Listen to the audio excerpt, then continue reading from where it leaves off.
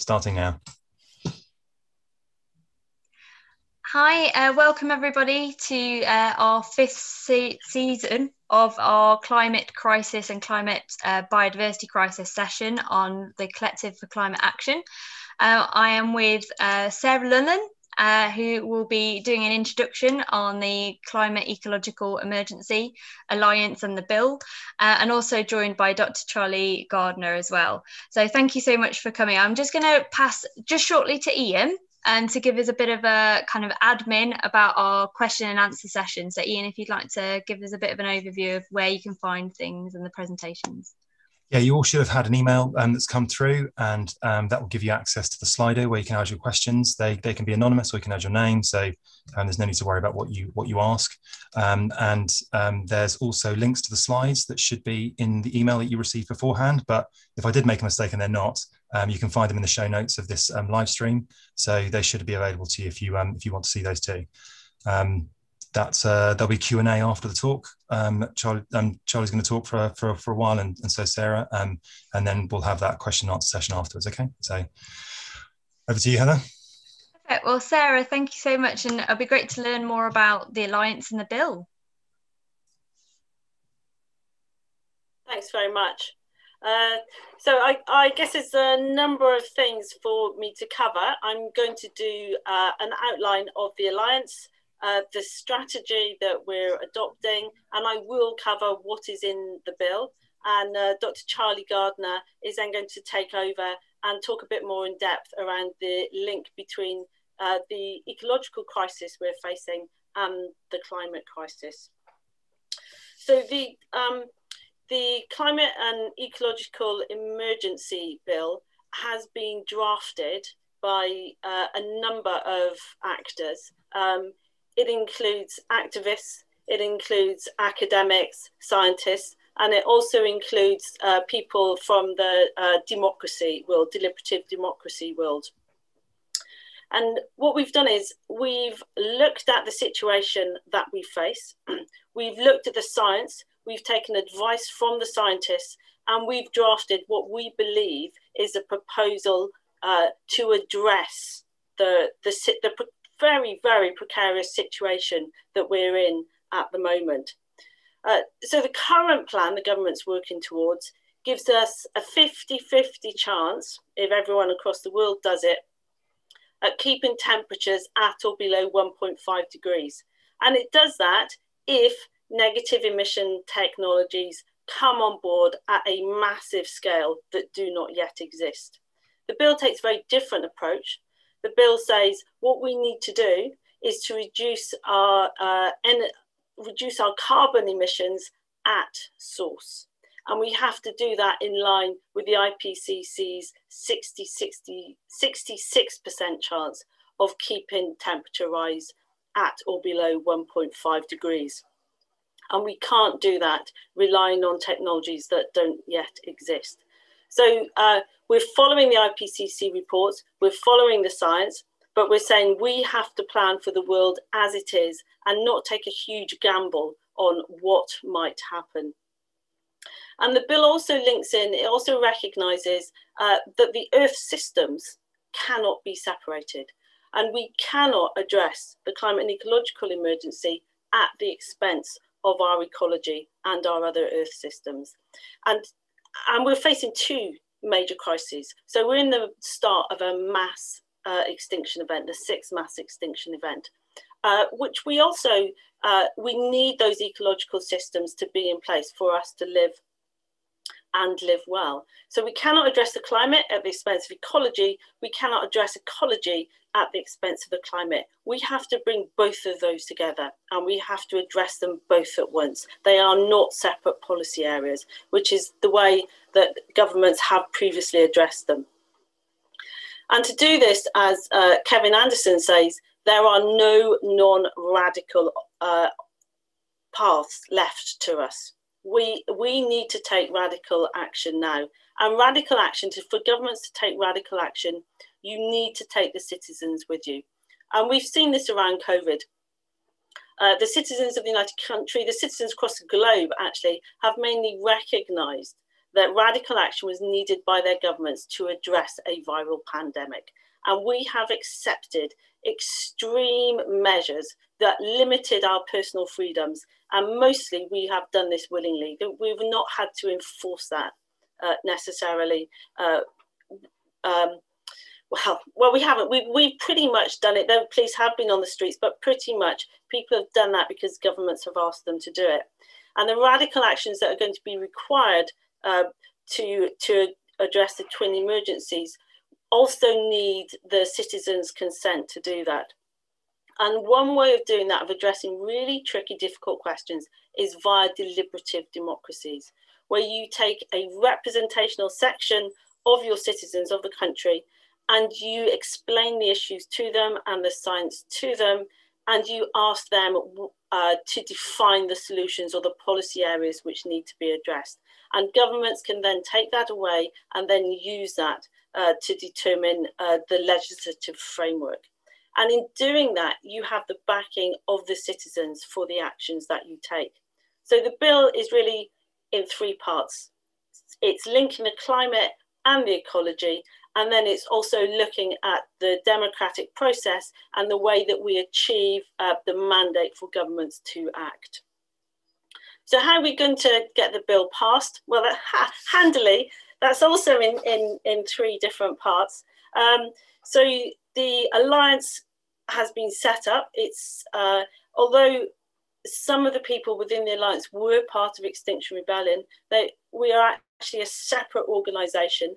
Uh, we have recognised that what we need to do is to actually go to Westminster, go to um, local governments and the, the other national parliaments, and actually use the legislative framework to pursue our aims. And, and that is what we're doing. Uh, many other people come on board. Uh, we're, we're, not a massive group, we're quite small, we're staffed mostly by volunteers. Number of people come on board uh, from business, from academia. And the plan is we are lobbying at Westminster. We are also lobbying around um, allies. So uh, we're taking the bill to various organisations and asking them to support it. And you can see on our website, we've got quite a wide range of people and organisations now supporting the bill. So, for example, we've got Tim Ibell, who's the head of engineering down in Bath. We've got the Co op Bank. We've got um, Isabella Tree from the Knepp Estates. Uh, we've got the Co op Bank.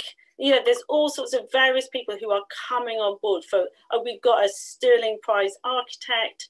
Uh, they've they've come on board.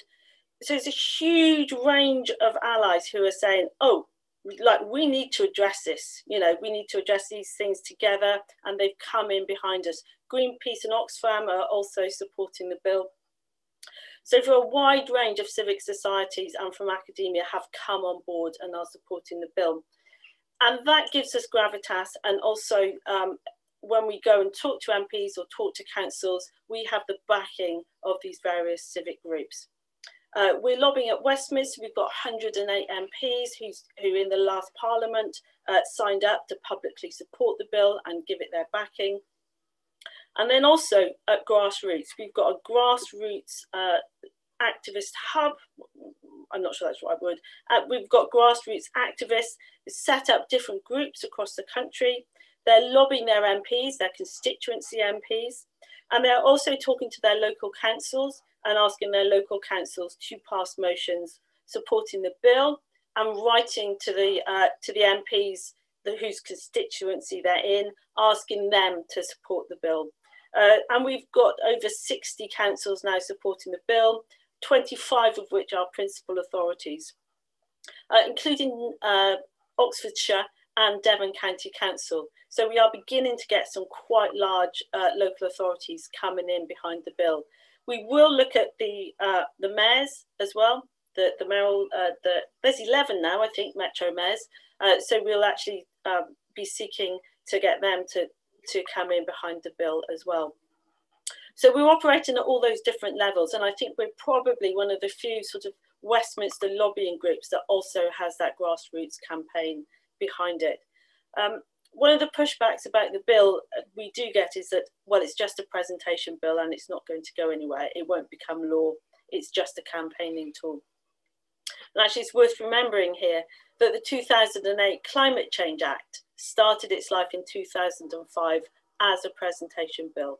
And that piece of legislation, which I think in many ways the Climate and Ecological Emergency Bill is an upgrade uh, and an extension of the Climate Change Act, um, received almost unanimous support in Parliament uh, when it was voted on. I think only three MPs voted against it. It might even have just, be, have just been one.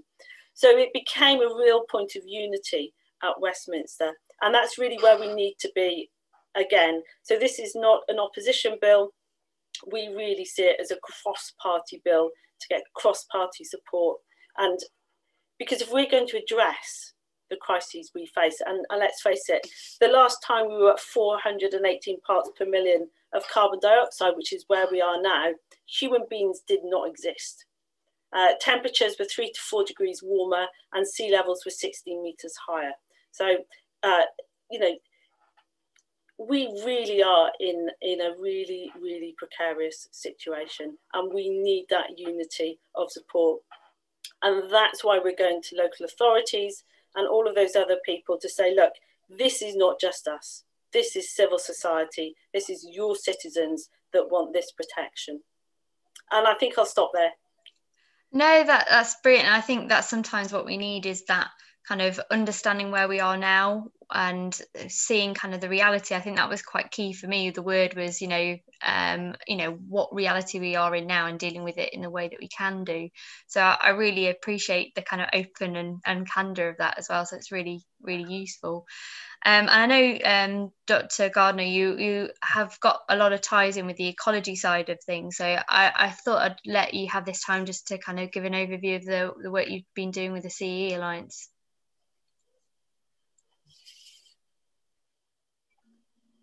Thanks very much, Heather. Um, I'm, I'm, really sorry, but I'm having a bit of trouble with my Zoom at the minute, and I'm trying to um, change laptops, but it's going to take me a couple of minutes. I wonder if you could perhaps take a question for Sarah, and yeah. whilst I do that, would that be okay? Absolutely fine. No, uh, we've got quite a few questions coming through, so yeah, we'll we'll go ahead with with that part. So, so Sarah, um, so this as i mentioned there are, are a few questions that we've seen so i'm just going to pick a couple out so i know that you mentioned about you know campaigning going through um, kind of uh, the bill element in terms of different MPs, and there's one on here where they people have talked to their um, and wrote a letter to their MP, um, but they're not getting much progress on it. Are there any kind of tips or anywhere that they can kind of have more uh, momentum, really? Okay, so there is, um, uh, especially from the Conservatives, there is pretty much a standard response, uh, which is being um, uh, put back if you write and ask your Conservative MP to support the bill. Um, on the website, we actually have a hub, a campaigners hub, and there's a whole list of uh, assets there that you can go and look at and will help you to move the conversation forward with, with your MP.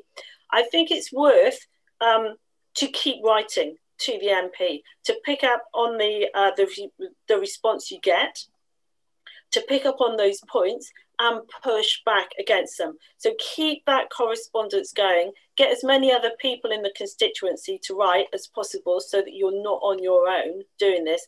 Um, when uh, Dr. Rebecca Willis uh, looked at why the climate was not being acted on at Westminster, one of the main issues that came back was that MPs were saying they were not getting contacted by their constituents uh, about the climate and ecological crisis. So the more contact you make with them, even though it feels like you're hitting a brick wall, uh, the more likely it is for, for that wall to crack. And remember, the walls always look solid until they burst. Yeah. So so keeping going like that is is really really important. Um, finding those businesses and organisations within your constituency that your MP likes and supports, and getting them to back the climate and ecological emergency bill is also another way of doing it. So, for example, WIs. Really, really influential. Who knew, right? The WI is such an influential organisation when the MPs start getting letters from the WI saying, Will you back this bit of legislation? They sit up and take note. Uh, church groups, faith groups, um, any big employers, private employers, people like that, you can pull all of those people in and get them to write to your MP. So, or any membership organisation you're part of, the local wildlife trust, the hedgehog trust, all, all of those things, get them to write to your to, to your MP. So it's not just you, you've you've got some backup behind you. No, I love that. And I know that on your website as well, you've got a list of organisations that have partnered as well. So you can go and find that. And I think that's a really good idea. Sometimes you feel a little alone sometimes doing it. So the more, and I like the pushing of the, the floodgates as well. So um, another one that's come through, I know that a lot of, as you said, academia has helped in terms of doing the bill. There's been a question about are government organisations involved in the work at all? Or has it been very much how, how it kind of was created? Uh, so, um, well, to be totally honest, like when we set ourselves up, nobody really wanted to come and talk to us because, like, who were we? So it's, it's not like we were a Greenpeace or Oxfam where we could go and knock on ministers' doors and they'd come and talk to us. Uh, so no, government organisations were not really involved in the drafting of this bill, other than you know people in universities yeah. like Charlie, for example. So, so you know, we have used what's open to us. We have used people who are supporters who work within government. We have had conversations with people in government, and you know, and tried to work out, you know, where those points of pressure are that we need to be pushing on. But ultimately, the bill has pretty much been drafted as a response to what is needed, as opposed to what is considered politically achievable. So it's, a, it's coming from a very different point of view. It's not coming from that point of, well, what, what can we do? What can we achieve within this political environment?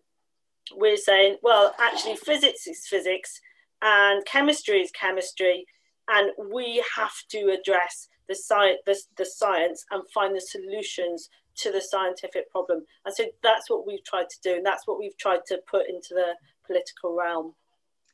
Thank you so much, Sarah. I'm probably going to pass to uh, Charlie now. I think he's all ready. Um, and thank you for your patience as well. Thanks, Heather. And yeah, th thanks everyone. And sorry about that. So I do have a, um, a small presentation for you. It'll probably take me, um, a, oh, sorry. Um, Heather, could you possibly enable um, participant screen sharing, please? That's been disabled, or whoever's. I think it might be Ian. yep, happening right. Should be okay now. Brilliant. So, um, what I'd like to sp speak to you about really is to um, go a bit further with some of the points that Sarah made. Um, about the connections between the climate and ecological emergencies. I'd like to make the case that really we cannot either address or survive the climate crisis without conserving the natural world, and we cannot conserve the natural world without getting a handle on the climate crisis.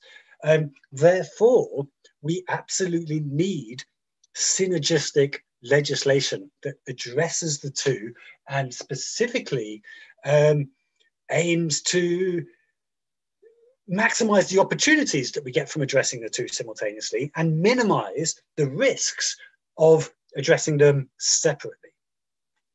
So we face an emergency. Um, 15,000 scientists have signed a paper saying that we are in an emergency, and they they chose this word very carefully because an emergency requires us to change what we are doing. It needs us to stop, to evaluate what we've been doing so far, which hasn't been working, and to concentrate all our efforts on the urgent task at hand.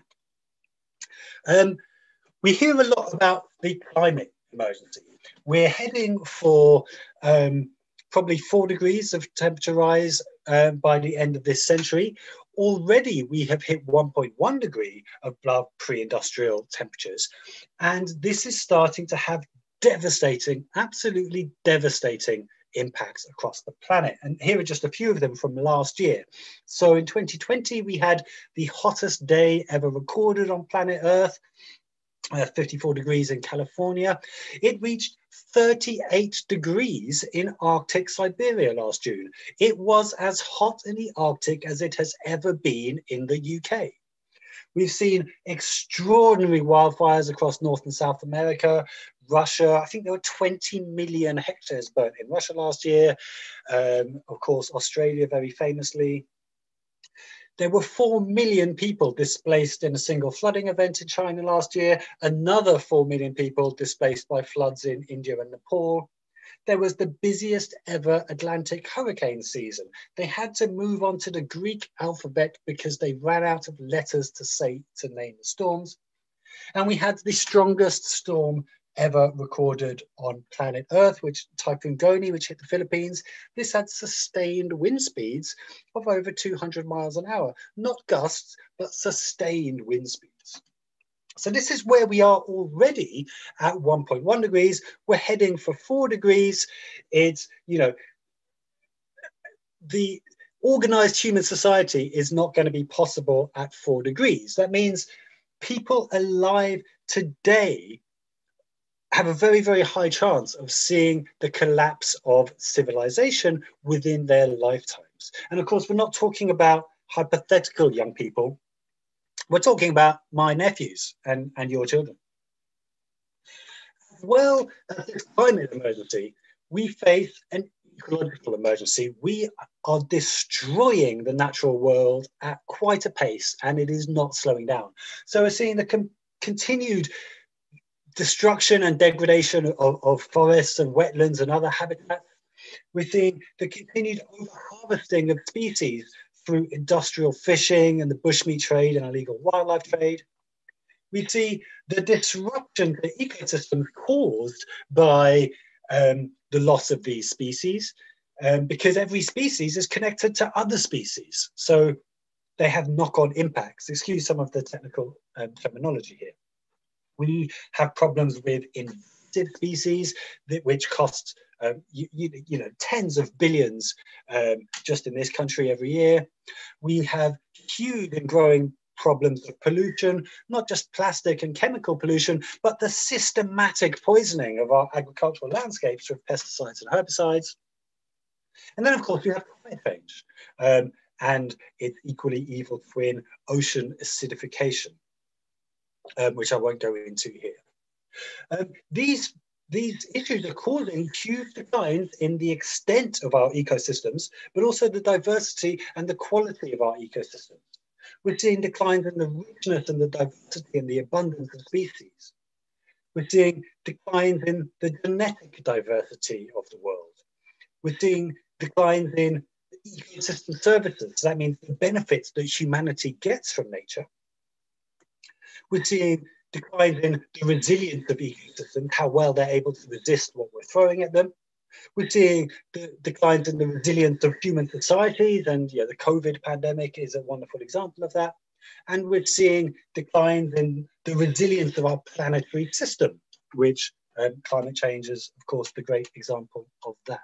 So we're not just in a climate emergency, we are also in an ecological emergency. We have these two very serious um, and very urgent emergencies. But the thing is, they heavily feed into each other. They are two sides of the same coin. Because we cannot serve the natural world without addressing climate change, but we also cannot address climate change or survive it without conserving the natural world. Um, and that's what I want to focus on first. So, nature is key to our hopes of surviving climate change because we need um, we need natural ecosystems to absorb and sequester carbon, in other words, to mitigate climate change, to minimize how bad it gets. But we also need ecosystems to help us survive the climate breakdown that will happen regardless, to help us adapt to its impacts. So we know ecosystems are hugely important for storing carbon. About a quarter of all our greenhouse gas emissions are absorbed in terrestrial ecosystems, and about a quarter are absorbed in the oceans. We tend to think of tropical forests when we think of these, uh, what we call carbon sinks, but actually all kinds of ecosystems absorb carbon. From wetlands, grasslands to mangroves, and in this country, um, fens and peat bogs and, and mires. In fact, the top six inches of a British peat bog can store as much carbon as the, an equivalent area of um, tropical rainforest. The thing is, we, we tend to think of um, these carbon stores as just being about the soil and the vegetation. So, in other words, if we stop the trees getting cut down, if we stop this habitat getting destroyed, then we will be able to preserve all the carbon. But actually, it's much more complex than that because these ecosystems are more than trees. They also include the animals that live in them because they play critical functional roles. And one, there are two key groups of animals. One is fruit eating animals, frugivores, because they disperse seeds. And it turns out that trees that have seeds that are dispersed by animals tend to be a lot bigger and a lot more carbon dense than trees whose seeds are dispersed by the wind. I mean, this has real implications for, for, for climate change because there are many tropical forests around the world, which we call empty forests. You look at the satellite imagery and it looks like there's a forest there, but actually all the animals are gone. They've been hunted out um, or for other reasons they've disappeared. And this means that all the big carbon rich trees aren't able to reproduce. So the carbon storage in those forests can decline by as much as 28%, even without a single tree being cut. So we need to do more than stop trees being cut. We need to save the animal communities that live in them too. Another great example is predators, because predators control herbivores. There's a reason why every tree that's ever been planted in the UK has to be surrounded by a plastic tube, and that's because we don't have the animals at the top of the food chain, the predators, which would control the populations of deer. Many of you, I'm sure, might have seen a, a wonderful George Monbiot video that talks about what happened in Yellowstone National Park when wolves were brought back.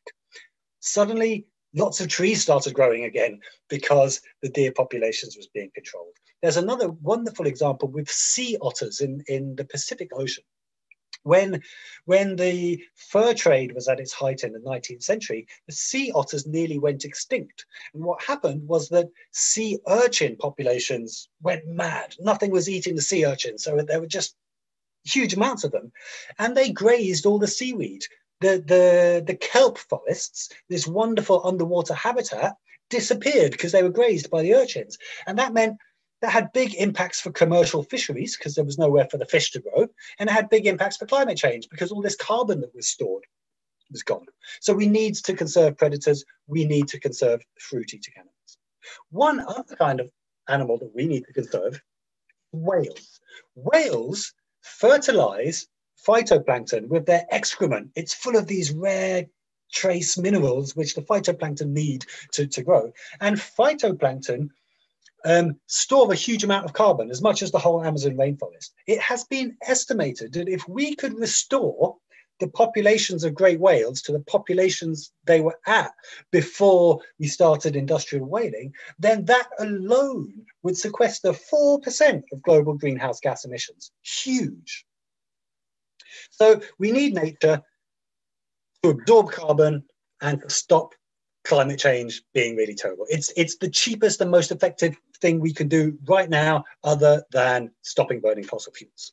But we also need nature to adapt to the climate impacts that are definitely going to happen anyway. So we suffer huge problems with flooding in this country. A large reason for that is because we've deforested the uplands.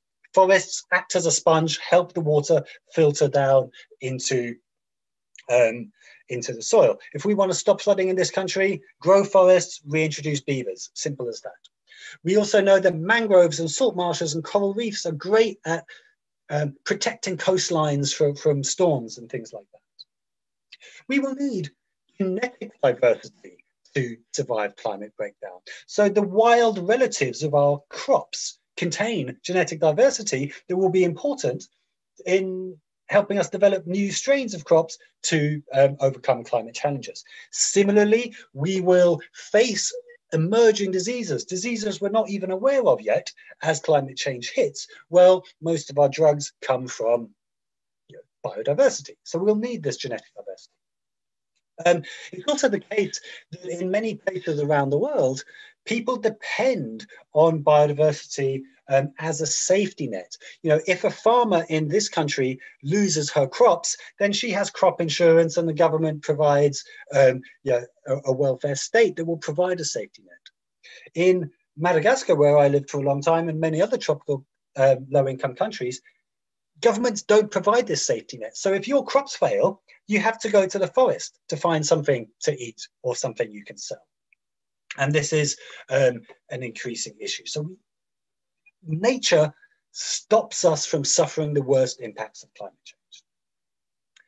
Um, so we've seen how we can't survive climate change without nature, but nature can't survive uh, without us addressing climate change because climate change is the biggest threat to nature. This animation shows the expansion and contraction of ice sheets across Northern Europe from 37,000 years ago to 8,000 years ago. And of course, it's very easy to imagine that as these ice sheets have expanded and contracted, so all the plants and animals must have shifted where they lived in response to that. You know, Scotland was covered in a huge ice sheet until 13,000 years ago. So every plant and animal that we see in Scotland now has moved there since. So, so the natural world is, is very capable of responding to climate change, and it always has done in the past. The difference is that when climate change happened in the past, species were responding in an intact world. The world is not intact anymore. We have destroyed it. So that means patches of natural habitat are highly fragmented. Species just can't keep up. But so species are responding to climate change by shifting where they are in space like that. They're also shifting in time, changing the seasonality of their events. Many of you will have noticed that spring is very late this year because it's it's been really cold. You know, the oak leaves as I look out my window, they're they're two weeks delayed from, from where they normally are. This is the opposite of the recent pattern, which is that spring is coming earlier and earlier and earlier. And this is a problem because species um, are all responding at different rates. And of course, they're all connected with other species. So, for example, the, the great tits and blue tits in my garden, they are suffering, their population is declining because the caterpillars they feed on in the springtime, the caterpillars of, of the winter moth, they're emerging much, much earlier, and the birds just can't breed early enough. They can't keep up. So by the time their chicks have hatched, all the caterpillars are finished and so they're not breeding so successfully. There are other examples with plants and pollinators. So, for example, this orchid is is the um, is, is a bee orchid. It's emerging at a different time to its pollinator, the buffish mining bee, so they're not getting pollinated. So ecosystems are breaking down, um, and because of the way the species are, are, are, responding. But there are also some ecosystems which are particularly suffering because of um, biophysical changes to, to, to where they live because of climate change. The, the, the great example of that, of course, is sea ice, polar sea ice, which is going to be gone very, very soon. No more polar bears, no more walruses, no more penguins. We're also seeing more and more the, the vulnerability of tropical forests to drying and fire. Um, and coral reefs are another highly, highly vulnerable ecosystem. At high ocean temperatures, they, they bleach and they die. So we are in a situation where by uh, towards the end of this century, there will be no more polar, polar sea ice, no more tropical forests, no more uh, coral reefs. That is how serious the impacts of climate change are for the natural world. But of course, that's just the direct impacts of climate change on the natural world. There is also the indirect impacts, and that's how humans respond, how our societies react in the face of these emergency uh, you know, climate impacts. Um, and our um, the way we choose to mitigate climate change can have major impacts on the natural world. One of the most popular climate actions is tree planting. This is hugely popular amongst the public, it's hugely popular amongst um, politicians because it seems cheap and easy, and it's certainly much simpler than um, stopping burning fossil fuels, which is what is ultimately needed. But when people talk about tree planting, what they generally mean is establishing industrial plantations of um, you know, spruce and pine that many of you will be familiar with if you visited Scotland or Wales. These places are not forests. They are deserts for wildlife. They are of no use at all. Even worse, if you plant such a plantation on a fen, then you've actually destroyed wildlife because the fen had wildlife in the first place, which you've destroyed by planting on it. So these things are terrible. What, what we're seeing increasingly is that tree planting policies can actually have um, huge unforeseen consequences that that have the opposite impact of what they were attending for. So here's a newspaper headline on the left here from uh, two months ago in Bloomberg about a tree planting program in Mexico, which encouraged deforestation. So the Mexican government gave money for planting trees. They didn't give money for conserving trees that were already there.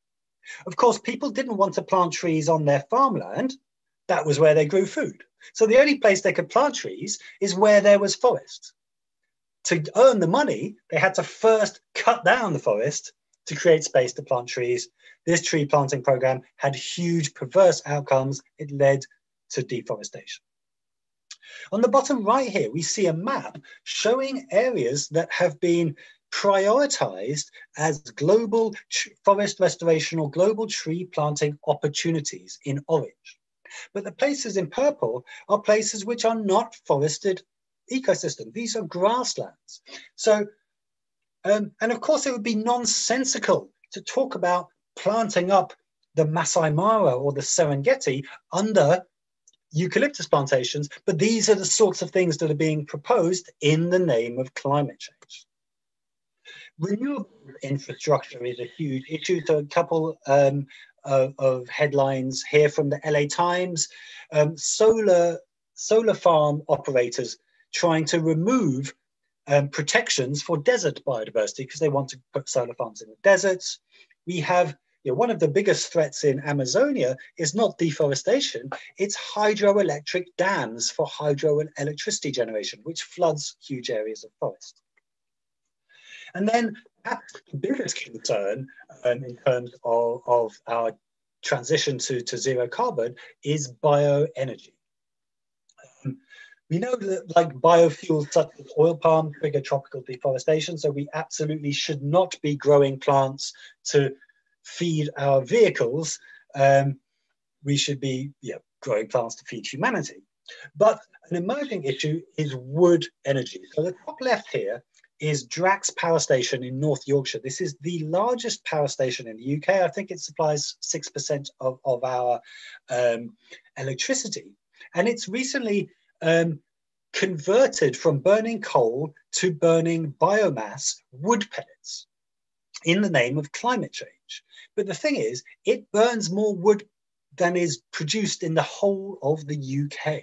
So it, it actually gets its wood from um, old growth forests in the Baltic and in North America. On the bottom left here is a picture of um, old growth swamp forests in South Carolina that are being cut to create pellets to burn in power stations in the UK. It is it's absolutely nonsensical that we should be cutting biodiverse, species rich forests to burn for electricity. It is doubly nonsensical that we should be doing so in the name of decarbonisation. This is an absolute nonsense, but this is the sort of impact that adopting emergency climate policies will have on the natural world if we don't have safeguards in place, if we don't ensure that our climate policies don't negatively impact biodiversity. Um, I'll, I'll, skip this, that last point there. One of our mitigation actions, there is also our adaptation, how we adapt to climate change. This map shows um, the, shi the, shifting suitability of um, the land for growing wine grapes. The areas in red are places where we can currently grow grapes, but won't be able to by 2050. The areas in blue are places where we cannot grow grapes currently, but will be able to by 2050 under a high emissions scenario. So I'm just showing you this as an illustration of the extent to which climate change is just going to completely change everything about how our landscapes are managed. Many of our landscapes that are currently managed for nature now, we don't conserve them because we love nature. We just conserve them because they're no good for anything else. They don't, they're not economically valuable for farming. So uh, yeah, we'll let nature have it. Well, what happens if climate change means that these places do become economically valuable for farming because new crops can grow there? Yeah, big issues we need to think about.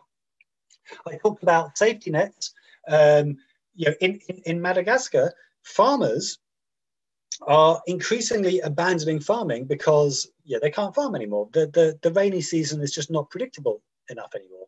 So they you know they have four options. Either they go to the forest to start producing charcoal. They can move up into the hills to do shifting cultivation slash and burn agriculture. They can move to the oceans to become fisher people or they can move to the cities um, to look for work there. So of their four options faced with the impacts of climate change, three of those options depend on biodiversity. Three of them depend on nature as a safety net when they lose their preferred livelihoods. This is happening now all over the world. We talk about climate change having an impact on future generations in this country. Well, around the rest of the world, it's having an impact on current generations. People are dying, people are suffering now. Um, one last example of how humanity is going to adapt to climate change. This map, yeah, I showed a, a, a, map earlier showing which places are suitable for growing grapes. This is an equivalent map showing which places are suitable for humanity. It turns out that places with a mean annual temperature above 29 degrees cannot support humanity. People just cannot live in places that hot.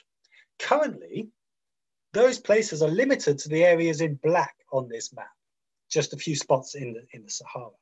By 2070, places that with a mean annual temperature above 29 degrees will have expanded to fill, all this area in brown hatching here. The whole of the top half of South America, most of North Africa, the Horn of Africa, the Arabian Peninsula, most of India, most of Southeast Asia, uh, Indonesia, Malaysia, New Guinea, and Northern Australia these places will be uninhabitable by human beings 50 years from now. This, you know, the consequences of this for, for global uh, geopolitics are, are, almost unimaginable. The consequences of it for the natural world, bearing what I in mind what I said about safety nets and things, is um, again unimaginable. And so just to sum up, you know, climate change is the greatest threat to nature. All species and all ecosystems are, their very existence is threatened by climate change. But perhaps the second biggest threat to nature is how we react to climate change, the mitigation and adaptation strategies that we adopt. We need nature to avoid the worst of climate change. We also need nature to survive climate change, but there's a huge risk that the actions we take um, to, to survive climate change will worsen um, threats to nature and thereby undermine our, our, prospects for survival in the long run.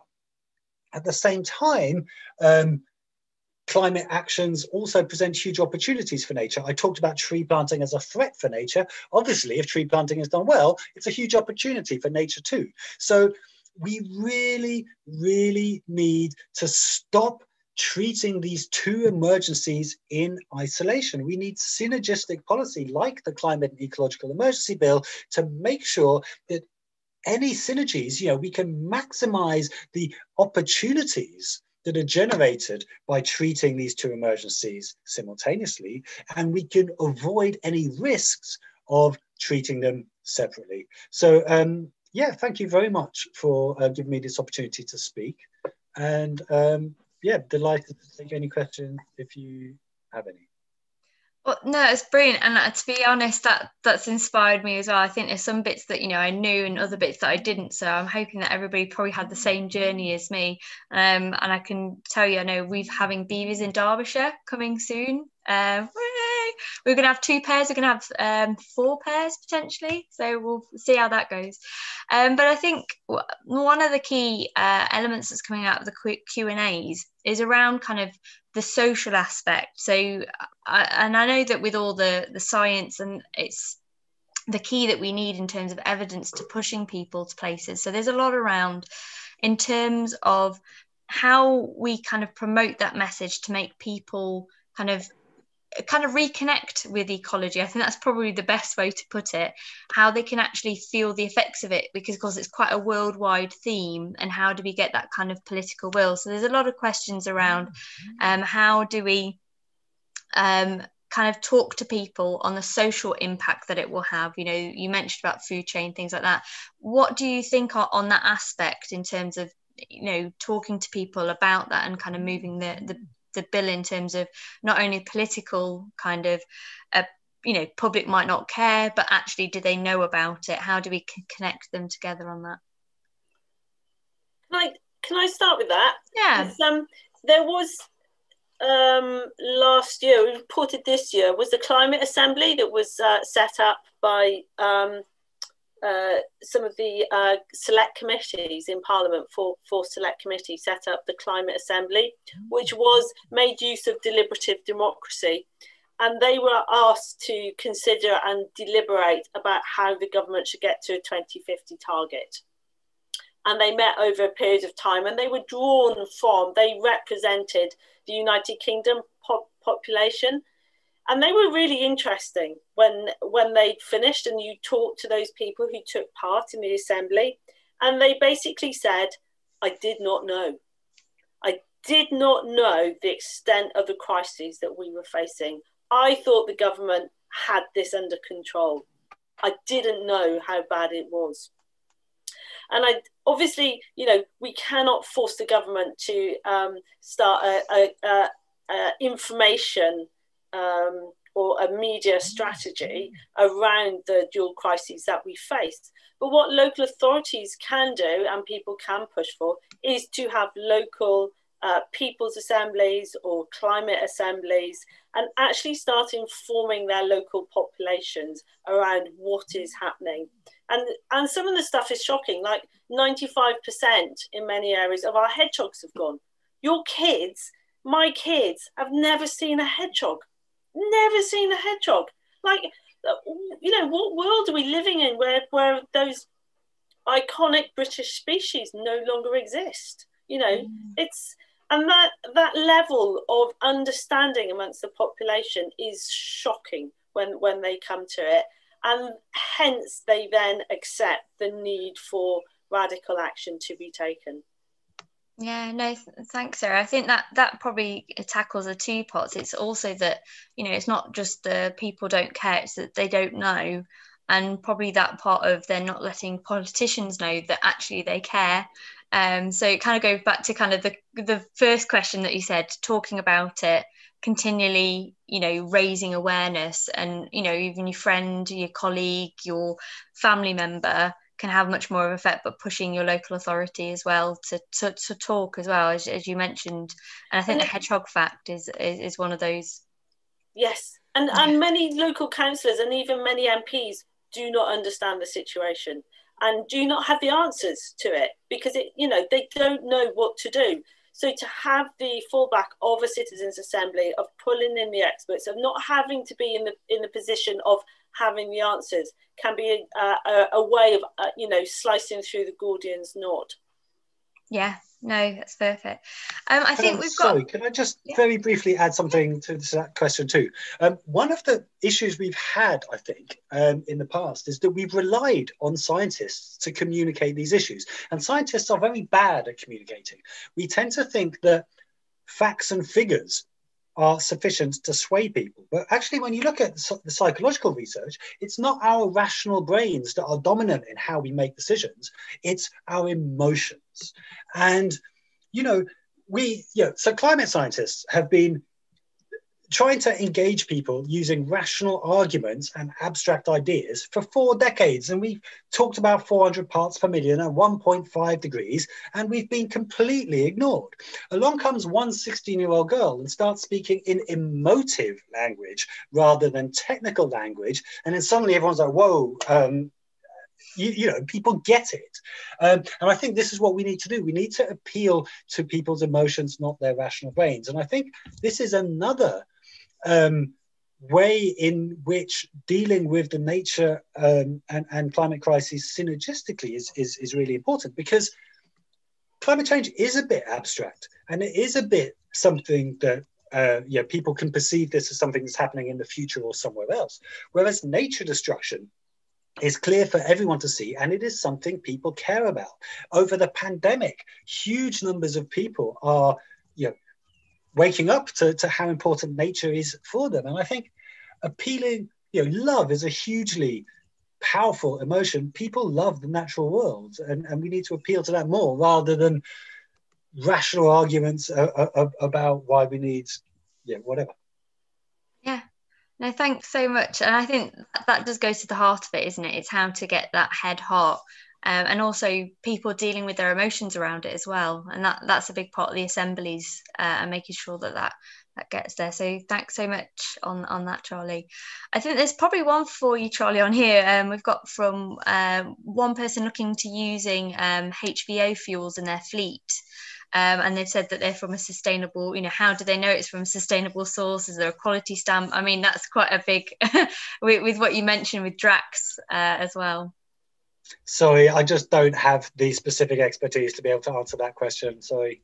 No, it's fine. Um, no, at least we've we've asked that. So um, I've also shared on YouTube. Somebody's asked about further information to send to their MPs, and I've shared the resource um, uh, link on there, uh, and I will send it out at the af- afterwards as well.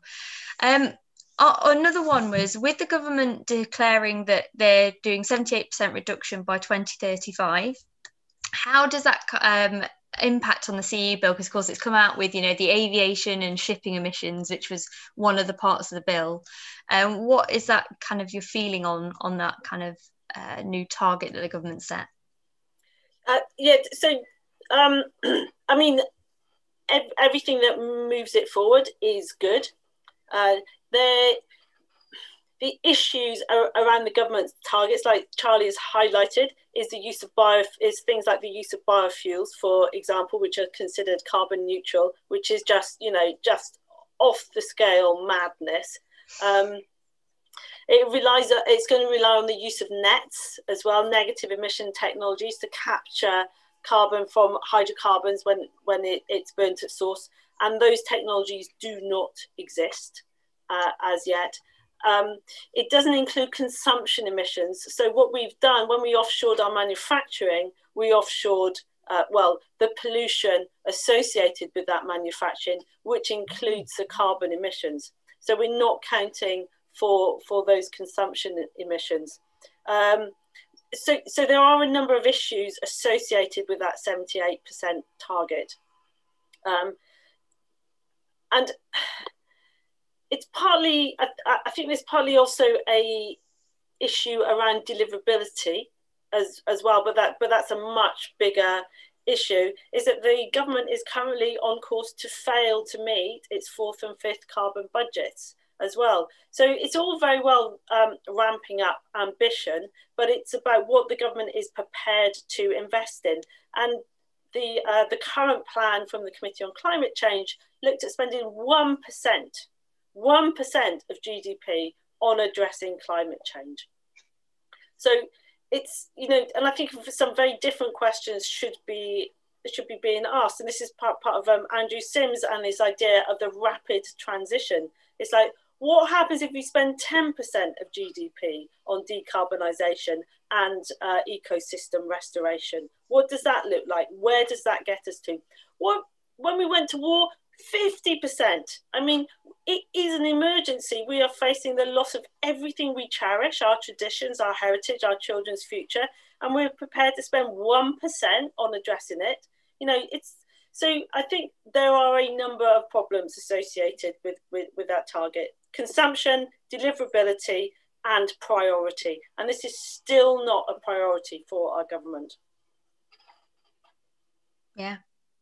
Uh, and yeah, I think that that kind of shows you, you know, in terms of emergency, isn't it? The word um, and the difference on that. Um, I know I've got one other question, Charlie. Uh, if you want to answer, absolutely fine. sorry just just to add that um, you you know those targets are they are um, yeah they're put out there as as targets, but without changing the um, legislative framework in all sectors that is necessary to meet those targets. So, you know, there's just this lack of joined up policy. You know, one branch of the government is saying we're going to decarbonize, the other branch of the gov- government is saying we're going to have a 27 billion pound road building program. Um, and the whole thing about the climate and ecological emergency is that these, it's not a sectoral thing. It's not, oh, we'll let environment people do that. It underlies absolutely everything. So all policy at all in all sectors of government, at all levels of government, from local authority to, to you know international, this has to be integrated into absolutely everything. Whereas it is still just piecemeal, and that's another example mm-hmm. of this not being a priority. It's a really good point. Yeah, uh, and I think that that's a very valid point as well. And and having a pathway that also links everything together, uh, than just a target as well. So no, that's great. I, I thought Ian, you normally uh, add a, a, juicy question if you've got one before the end.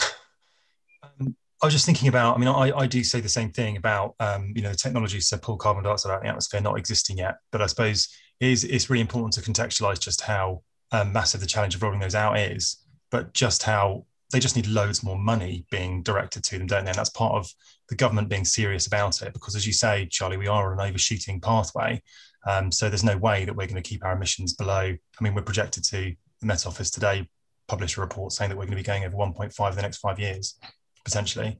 So um, yeah, it's I think it's important to remember that those technologies probably will become a massive part of how the global economy works. Um, but I was wondering how how you guys feel about those and the messaging of saying they don't exist yet. Um, they will. We we do need them in the future. The problem is that they are used as an excuse to delay action now. Um, and this is just nonsensical. If your bath is overflowing, you don't invest in um, you know, starting to weave a new towel to mop up the excess floodwater. You turn off the tap. And yeah, yeah, we will need towels in the future, but it's absolutely wrong for people to say, oh, no, it's okay to carry on um, leaving the tap on because we are weaving a towel. Um, you know, the. Do you have any thoughts on? Do you have any thoughts on how we would avoid that um, moral hazard? Because we are going to need those technologies, aren't we? But we're also going to need to cut our emissions, and that's always the justification for not using them. One of the pathways in, uh, on the Committee on Climate Change actually mapped out a pathway um, using uh, natural sequestration processes, and then they dismissed it as being unachievable because um, you they, they they there wasn't in, they couldn't rely on it um, being adopted. I, I, I, may be doing them a disservice on the actual uh, wording that they used, which struck me as complete madness because they are relying on technologies which exist theoretically but do not yet exist at scale to enable us to carry on burning fossil fuels. So it, it seems to me that yes, we need, we absolutely need to sequestrate carbon because at 418 parts per million, we're going back, what is it, three, 10 million years? It's a world nobody has lived on before. Agriculture did not develop in, in that world. Our cities were not planned and built for that world. So, yes, we need sequestration, but why not as Charlie says, stop the problem that we have now, use the processes we have now, and look at developing other technologies to come alongside it. That's what we need to do. We need to do everything, but we need to stop making the problem worse as a starting point. And if that means changing our societies, then it strikes me we have no option because the alternative to carry on and hope that nets come over the hill like like the mythical unicorns is gambling with like five bullets in the revolver.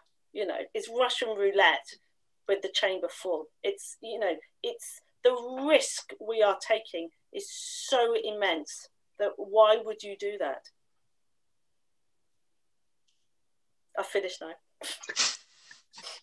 I'd agree with everything you said. the risk is tremendous. Yeah.